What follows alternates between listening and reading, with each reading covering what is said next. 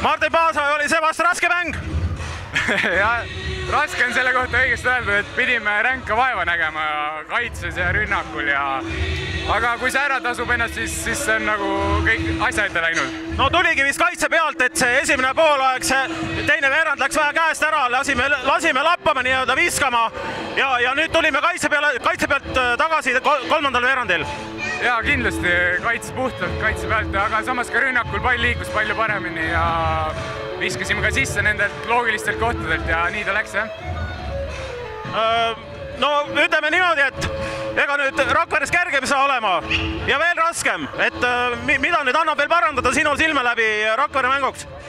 jah, selles mõttes seeria pole kaugeltki läbi, et alles hakkab, et mida parandada, et et see ikkagi noh, eks see mõõn nagunii noh, ikka tuleb no,, igal võistkonnal tuleb mõõn sisse, aga et see mõõn ei oleks meile nii kahjulik, kui ta oli ikkagi sellel teisel veerandajal, et et see ei läheks nii suureks, et me peaks, et et me peaks nagu nii, nii räigelt seda ikkagi nagu taga ajama, et nagu täna läks selles mõttes õnneks, et me ikkagi tulime ilusti järgi, aga aga et no mõnel teisel päeval võib-olla nemad panevad edasi selle pealt, kui me laseme neil nagu kuumaks minna. aitäh, Martin ja edu esmaspäevaks! aitäh!